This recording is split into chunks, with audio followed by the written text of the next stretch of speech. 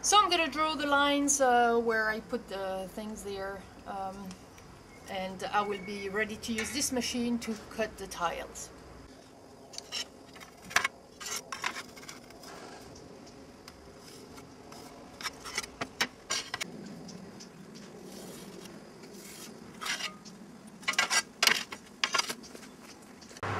Obviously in this machine we need to put water, so uh, we'll have to put some into it. I took this to be able to fill it up.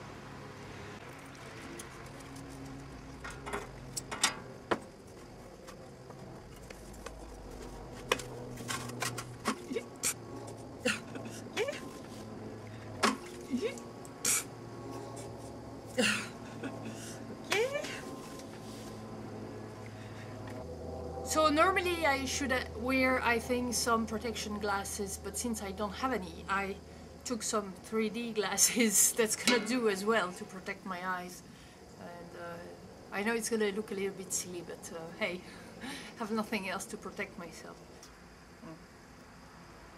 There you go. Uh, où est-ce? Where do we start this thing? Ah, here. Maybe.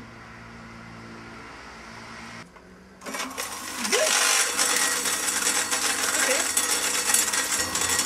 So it's uh, splashing.